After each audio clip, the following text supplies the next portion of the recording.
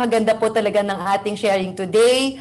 Uh, so I, I just would like to siguro po uh, to share with you how I also um, exercise my muscle of faith para to end this uh, this beautiful episode. So number one, napaka-importante po talaga yung trust. Okay? Pagtitiwala. Yun po yung importanteng natutunan natin ngayong araw to, yung trust, pagtitiwala. Uh, ako po, I would like to uh, uh, to share with you na ito pong the other day or mga three days ago or four days ago, pinadalan po ako ng isang Vita dealer si um, si uh, Ferds, uh, si Ferdy uh, ng kasi we meron po mer sa everyday po pinagpapadala po siya ng ng mga Bible verses sa akin, ng Bible verses sa akin. So uh, this particular uh, uh, post po niya na pinadala sa akin uh, pwede po nating i-share, okay? This is very nice. It says, I don't know what tomorrow holds, but I know who holds tomorrow. And that is God. So, yun po siguro yung po pwede ko na, na i-share sa inyo about trusting God. Na uh, what we only what we are only definite is the now, yung ngayon. But yung tomorrow talaga po, nobody knows what tomorrow will bring. But we know, ito po, napakaganda na, what we know is that God holds tomorrow. So, yung pagtitiwala po natin sa Diyos, dapat po, uh, whether in good times and in bad times, dapat po buong buo pa rin. And then, there is one verse in the Bible that whenever I see it and I read it, kahit na po anong fear na nasa puso ko, nasa, anong anxiety na nasa puso ko, kumakalma po ako. Kasi alam ko po na, lalo na nung, nung nagkaroon ng pandemic, ang dami po talaga na, isa po ako doon na, you know, nag, na, nag-question, ano na po, ano na po yung bukas, ano na po mangyayari sa First Vita Plus, etc. But every time, every time, I don't know, for, for whatever reason, pagka po meron akong fear, anxiety sa puso ko, I always see this verse. Okay? It says, Be still and know that I am God. Napakaganda po kasi parang pinapaalala po palagi sa atin na marami po tayong bagay na hindi pwedeng ilagay sa ating mga kamay o masolve gamit yung uh, yung material things o yung yung uh, uh, gawa po ng tao pero uh, ibigay po natin yung pagtitiwala natin sa Diyos and everything will be okay because tama po naman because He is God. Pangalawa po is to pray. Um, yung pagdarasal ko po ay siguro hindi po min, hindi po minu-minuto, segundo. Uh, there is no specific prayer, hindi po ako naglitanya, hindi po ako nag well, I, the moment I wake up, I wake up in the morning is I pray my rosary. Yan po talaga ever since we were kids. Uh, Uh, po talaga yung number one na discipline na, na tinuro sa amin to pray our rosary. Uh, so you, that's the first thing I do. And then the second thing is I I read my Bible. Okay, mamaya po i-share ko yon. So, prayer. Kahit na po anong mangyari, uh, kahit anong gawin ko, palagi pong I talk to God. Um, yun po yung aking communication with God uh, prayer doesn't mean po na mahaba litanya, no. Prayer is like talking to Him, like talking to to your your mother, to your father, to your friend. Para pong ganun yung relationship ko with God. Uh, my prayer with with God is like talagang every time, every minute, every second, uh, kailangan ko po talaga na makipag-usap sa Kanya. And then third is, um, my my Bible to read the scriptures. Um, uh, about 10 years ago, si Brother Glenn, okay, uh, bless his soul, uh, si Brother Glenn po would give me uh, as present, as, as Christmas presents or as New Year's present or as anniversary present. Uh, yung ano po, uh, 365 days with the Lord. So ito po, palaging, palaging binibigyan po niya ako ng Uh, kasi po, dati hindi naman po ako nagbabasa ng Bible talaga. Because yun nga po, para sa akin, enough that, that I, I pray, I talk to God. But when uh, Brother Glenn started um, giving me uh, the Bible, ito po yung 365 days with the Lord, then I would everyday read it. Okay? So everyday po talaga nagdadasal ako. And then surprisingly, uh, hindi ko po alam, palagi whenever I have doubts, I have questions, I have prayers, meron po akong uh, mga tanong na na gustong masagot na hindi hindi po ko kaya itanong kahit na kanino. And then para pong pagka binuksan ko yung yung reading for the day, para pong nakikipag-usap sa akin si God, para pong sinasagot niya ako doon sa mga tanong ko. Ever since then, okay, talaga pong I never miss a day without reading my Bible because para po sa akin parang yun yung yun yung way of of concrete yung konkreto. Kasi po, di ba, syempre, minsan pag nakikipag-usap tayo sa Diyos, pag nagdadasal tayo, parang one way lang, tayo lang yung nakikipag-usap. Uh, hindi po natin uh, naririnig kung ano po yung, yung sinasabi sa atin ng Diyos. Uh, naghihintay po tayo ng, ng kasagutan uh, in terms of uh, kung masasagot ba yung mga prayers natin. But reading my, my Bible every single day is like a concrete answer, yung sagot po sa mga tanong ko at mga alinlangan ko, my fears and doubts and anxieties. So, that's why ever since then, every day po talaga no fail. Kaya po, pagka po uh, Christmas and it's time to open my gifts, okay, alam po ni Yaya yan, uh, aabot na na po sa akin yung gift ni Brother Glenn because I already know na yun po yung 365 days with the Lord. Pagka po wala yon uh, magte-text po ako kay Brother Glenn. Brother Glenn, uh, parang nakalimutan niyo pong ibigay sa akin yung gift ko. So, ibibigay niya po sa akin yun pagka, uh, pagka January na. Kasi po pala, uh, hindi pa available. So, kulang, parang kulang yung Christmas gifts ko pagka wala yon yung, yung gift ko. And then, 2021. Siyempre po, nawala po sa atin si Brother Glenn ng 2022. So, nung nung Christmas, sabi ko, ay, ano, parang wala akong, wala akong 365 days with the Lord kasi wala na po si Brother Glenn. So sabi ko po sa driver ko, inutusan ko sa sa National Bookstore to buy. Ah, uh, kaya lang for one month wala pong mabili kasi out of stock uh, hindi po, or I don't know, pa, parang hindi pa nagpe-print or whatever. I don't know kung ano po yung reason ng National Bookstore. Wala pa po. Sabi ko, uh, tawagan ako pag meron ng available. So, one month, hindi pa po ako tinatawagan. And then, after, siguro po, sometime, uh, I don't know, in, sometime in January, uh, a gift um, arrived in my office. Naka-gift wrap. Ah, tapos pagbukas ko po, ito yon. Uh, ah, galing po kay Brother Ruel. Kasi po siguro, sabi ni Brother Glenn, na hindi po niya nabibigay sa akin yung gift niya. So, siguro po pinadala niya through Brother Ruel. So, eto po. Ito yung palagi kong binabasa everyday. So, I, I know si Brother Glenn pa rin yung nagbigay nito.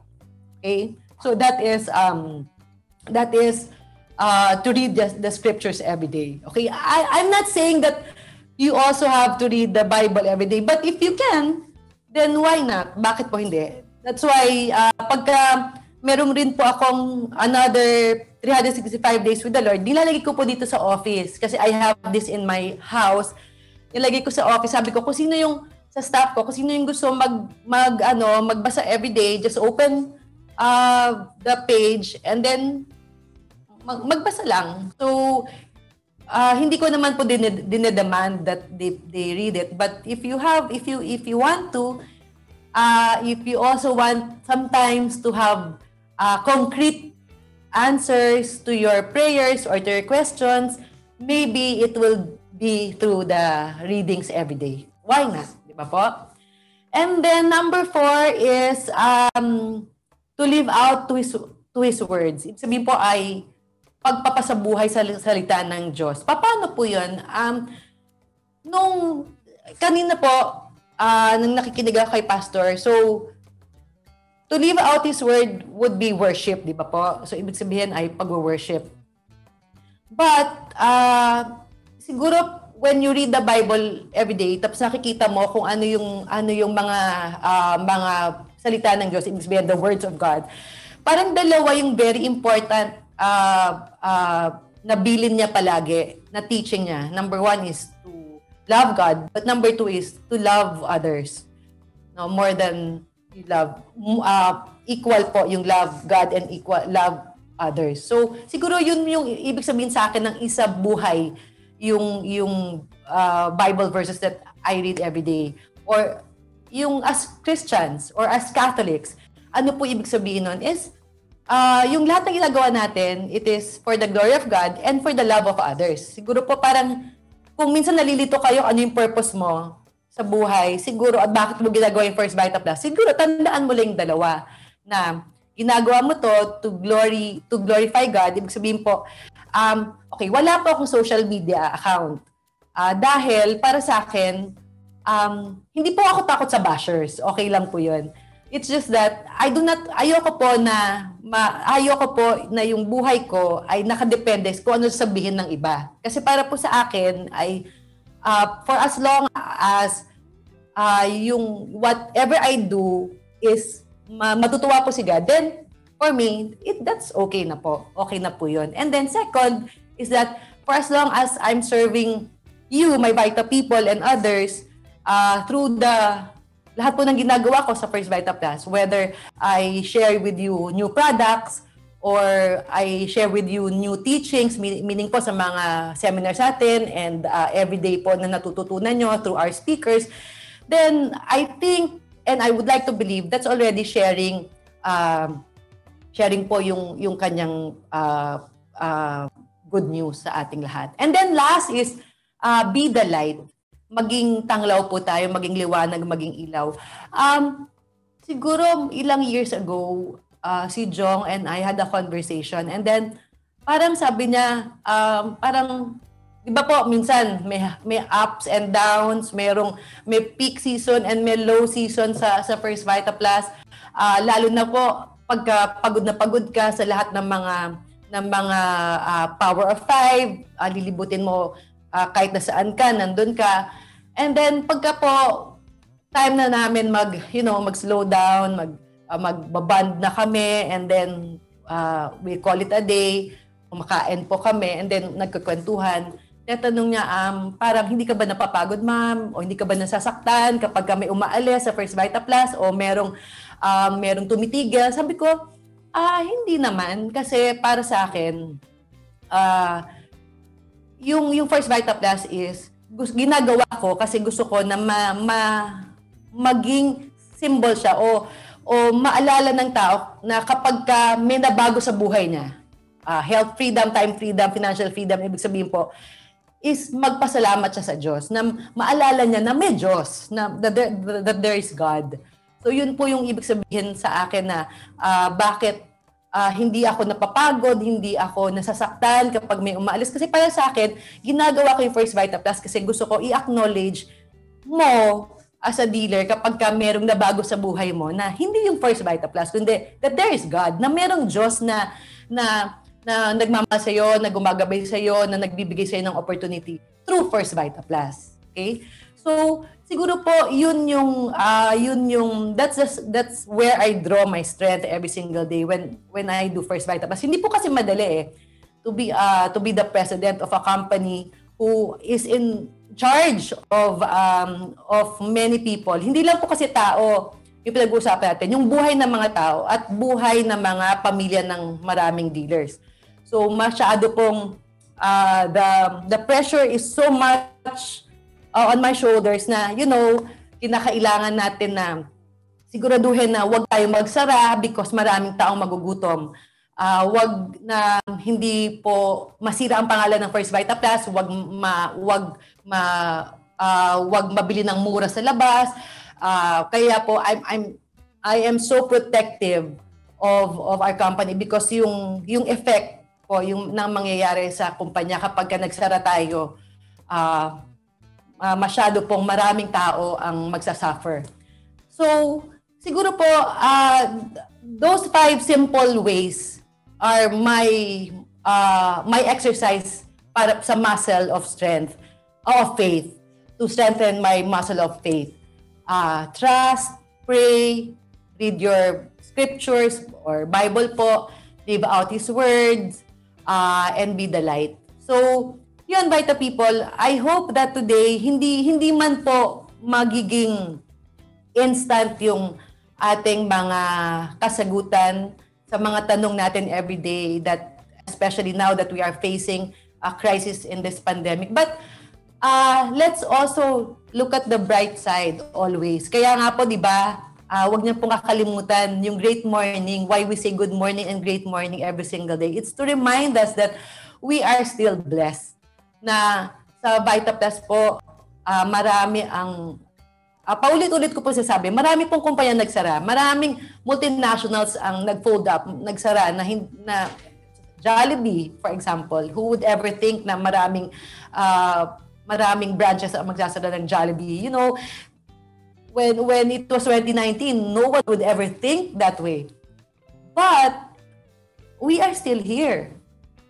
Um, hindi man po pareho ang check-in nyo na as pre-pandemic, but look at your checks. Ask yourselves, in in sa labas po, in a, in in the real world, okay? meron po ba, marami po bang tao ang makakahawak nun ng check-in na nahahawakan nyo every Friday? So that's why minsan po we are so depressed because of our own expectations. Yung expectations mo. Uh, but kaya nga po eh, that's why uh, I invited Pastor Jeff to para po bigyan tayo ng linaw na sino po ba, who are we going to worship?